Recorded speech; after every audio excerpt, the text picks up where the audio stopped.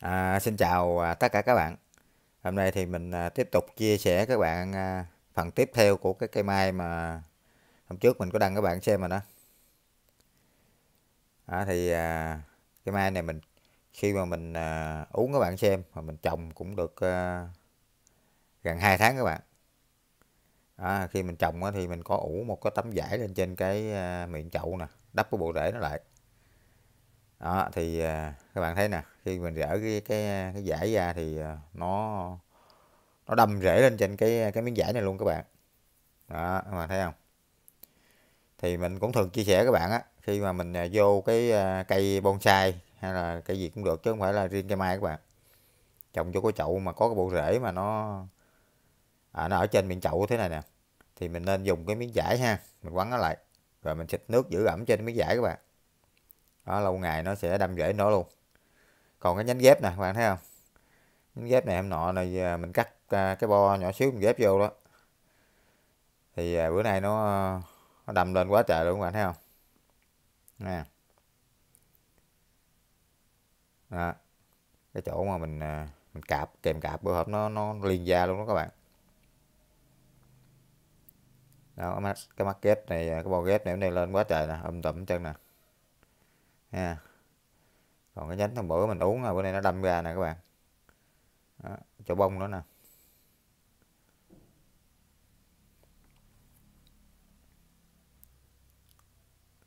À, cái bộ ghép nó lên quá trời ha thì à, lý do bộ ghép lên mạnh là nó nằm ở trên đó các bạn à, nó nằm ở trên cái phần à, mình trồng nghiêng xuống thì cái phần à, nhánh dại nằm dưới rồi thì cái nhánh ghép nằm trên nó phát triển nhanh là phải rồi nhưng mà nó bị chết một nhánh ở dưới nè các bạn. Lý do là cái ờ, cái cành này nó dài quá các bạn. Đó, khi mình uống cái cành đổ này nó dài quá ra nó cũng bị chết nhánh nè nhưng mà không sao. Ha. Thì bây giờ mình uống mình hạn chế cái ờ, cái cành đọt của nó thì nó sẽ ờ, ở dưới nó sẽ lên lại thôi các bạn. Đó, bây giờ mình vô dây mình uống cái này nè nhánh ghép này nè.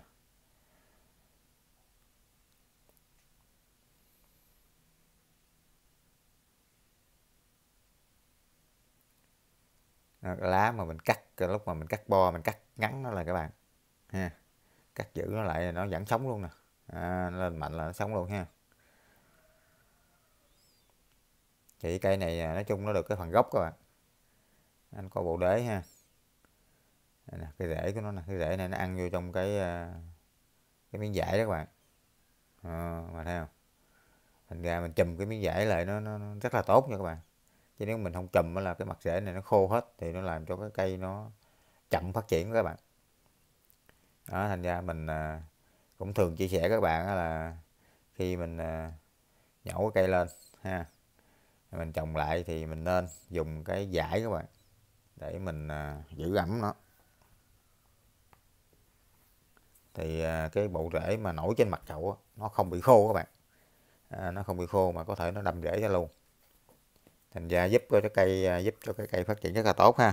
Chứ khi mà mình nhổ lên, trồng lại mà mình để phơi cái bộ rễ đó ra mà đặc biệt là nếu mà để ngoài phơi nắng nữa là cái cây nó có thể nó chết luôn các bạn. Đó, thì cái nhánh ghép này à, bữa nay nó lớn quá rồi. Bây giờ à, mình dùng dây nhôm mà không có lên dùng dây bự các bạn. Đó, mình dùng cái dây nhỏ thôi nhưng mà mình uống mình dùng nhiều sợi vô. Đó dùng nhiều dây vô để cho nó mình quấn cho mình uống tại vì cái nhánh này nó hơi à, tương đối lớn các bạn. Mà mình uống ngặt xuống thì sợ nó gãy. Thành ra ở đây mình vô tới bốn con dây nhôm luôn các bạn. Cho nó chắc cú ha. Đó thì uh, lý do là hôm nọ giờ mình nói để mình uh, mình ra mình uống mình quay lại các bạn xem. Nhưng mà bữa giờ cái lũ bu quá bạn ơi à, công việc cũng nhiều quá đi tùm lum hết. Thành ra là tối ngày đi làm gì đâu không à còn ba cây nhà bỏ tùm lum. Lên lâm tùm không làm được mấy cái khế nữa các bạn ơi. Ồ mấy cái khế từ bữa giờ là hồi trong tết giờ chắc cũng ba bốn tháng nữa các bạn. Quá trời giờ nó lên có nhánh nó lớn hơn ngón chân cái các bạn ơi. Chắc nay mai là mình tranh thủ ờ, mình ờ, mình quay lại. Ờ, ba bốn năm cây khế gì đó mình vẫn về nó lên quá trời để à, hôm nào mình rảnh quay lại à, mình làm quay lại các bạn xem. À, có bạn nói mình lấy mấy cái khế về làm củi nữa. Tại vì mấy cái khế mình vẫn đâu có bầu các bạn. Thành ra là thôi bỏ quên đó đi. Bây giờ mình lo cái cây này mai này ha. Thì à, ý tưởng của mình là các bạn lấy cái nhánh này làm ngọn nè còn phần dài này mình uống hết xuống các bạn. Đó nhánh này nhánh nhỏ đây. Mình dựng cái đỉnh ngay đây đó, toàn bộ cái à, cái nhánh lớn này, này mình uống hết để mình à, tạo tán nó các bạn. Thì à, bây giờ mình tiến hành mình uống nó xuống. Các bạn nên nhớ là uống cái nhánh này là uống xoay theo cái chiều dây nha các bạn. Đó. uống xoay thì dây. Xoay cái này nè đó. Thì nó cọng dây mình uống nó sẽ ôm vô nó không làm cho gãy cái cây các bạn. Nhưng mà xoay thì cũng xoay vừa phải thôi các bạn à, có bạn nói sao mà uống là nó chết lấy do các bạn xây quá nó dặn nó sẽ đứt cái cái, cái à, những cái mau mạch của cái cây đó các bạn. Đó, mình xây sao mà cho nó vừa phải thôi để cho nó à, nó qua theo cái ý của mình là được các bạn ơi. Đó. còn những cái cành nhánh của cây mai á, thì à, các bạn thấy nè khi mình uống ra đó thì nó thành một cái tán ha. À, những cái cành của nó đó, nhỏ nhỏ đó thì không nên cắt các bạn ơi giữ hết đi. Để làm chi? Để tết nó sẽ có bông nhiều các bạn. Đó, rồi mình cứ chơi tết xong đi. Rồi mình tiếp tục mình cắt đó các bạn. À, mình cắt cho nó thoáng ra để thành cái cây bonsai sau này. Đó, còn trước mắt á, thì các bạn cứ uống xuống. Đặc biệt là cái cây à, à cái cây mai đại lộc này thì nhánh tới đâu thì qua tới đó các bạn. Thành ra mình nên để nhánh cho nó nhiều đi. Mấy cái nhánh nhỏ nhỏ này là tết nó sẽ có qua hết. Đó còn cái nhánh nhỏ trong đây nè thì thay vì cắt bỏ đúng ra là mình cắt bỏ cho thoáng nhưng mà mình uống luôn các bạn. Đó, đằng sau nó hơi à, thiếu nhánh ha. Thì mình à, dùng cái dây mình uống nó cho nó đi ra sao luôn. Đó, cho nó thành một cái tán xum xê với các bạn. Đó, không có nên cắt đâu. Bởi vì á tới mùa tết mà cây mai nó qua càng nhiều thì giá trị nó càng lớn thôi. Đó. thì mình chơi một cái tết như vậy á, thì à, rồi bắt đầu mình tiến hành mình cắt tỉa các bạn cứ mỗi lần vậy thì mình tỉa giết thì cây mai nó sẽ thành cây bonsai thoáng ra sau này. Nhưng mà đáp ứng được cái điều kiện tết mà nó có qua các bạn. Thành ra mình thấy có lợi ờ, hai bên ha. Đó, thì lưu ý cái ờ, cái ý nhỏ cho các bạn là vậy. Đó, những nhánh nhỏ này mình lấy hết. Thì ờ, những cái nhánh nhỏ này hiện nay là nó đang có những cái nách. Đó. À, cái nách nó sau này là nó sẽ hình thành bông ở trong búp bông trong đó các bạn. Thành ra mình nên giữ nó hết đi đó, để tới Tết này thì à, cái cây này nó sẽ có qua mình quay lại các bạn xem ha.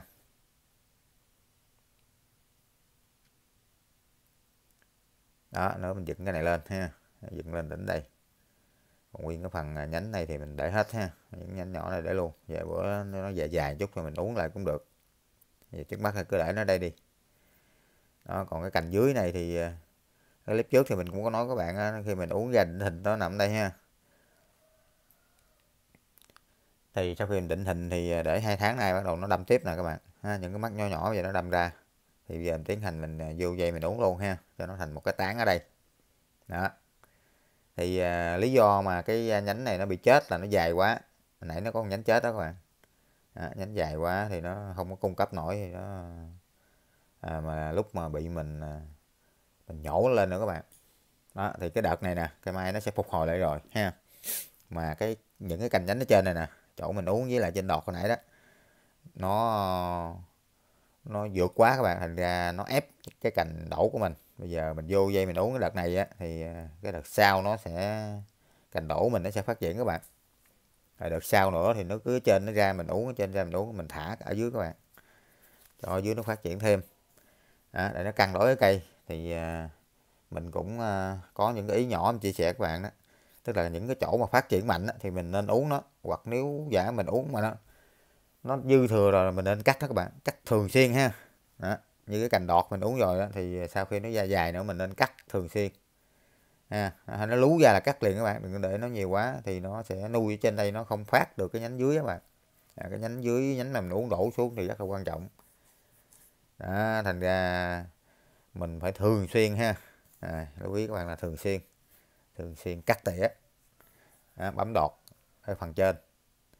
À, thì cái phần dưới nó lại nó nó mới phát ra các bạn.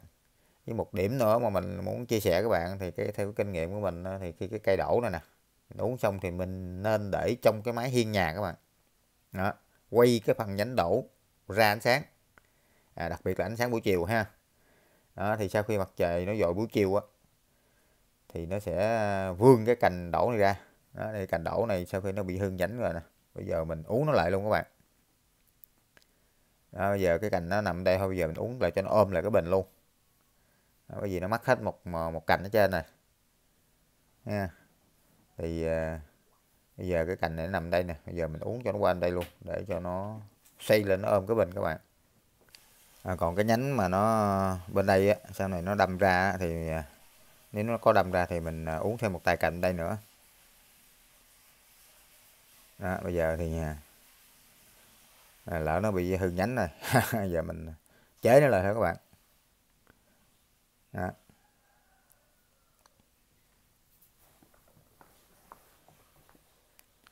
thì uh, lý do mình lấy cái nhánh ngoài mình uống vô trong á để cho cái cái co ngoài nó sau này nó dễ đâm hơn các bạn chứ nó nằm trong bình thì nó khó đâm.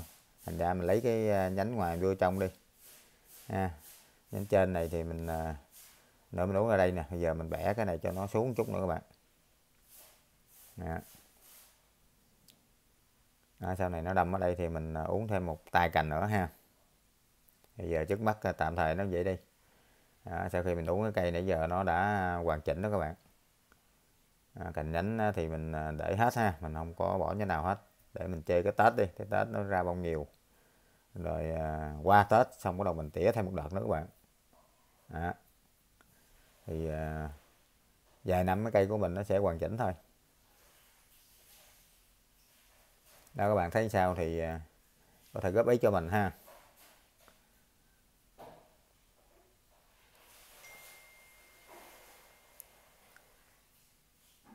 Đó cái cành mà mình à, mới ghép sau này nó lên quá trời các bạn. Đó, mình uống hạn chế nó thì à, cái nhánh đổ nó sẽ phát triển thôi.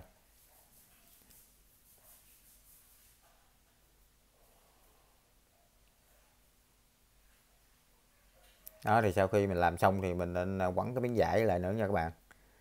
À, quấn kính nó lại ha giữ ẩm nó. Thì à, mình xin chân thành cảm ơn à, tất cả các bạn đã xem cái video của mình ha. Các bạn xem video nhớ chia sẻ mọi người cùng xem. À, nhớ đăng ký cái kênh để ủng hộ kênh mình phát triển các bạn ơi. À, mình xin à, chào và hẹn lại những cái video tiếp theo ha. Rồi xin chào.